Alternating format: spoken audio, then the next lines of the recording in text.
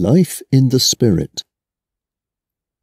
If our minds are ruled by our desires, we will die. But if our minds are ruled by the Spirit, we will have life and peace.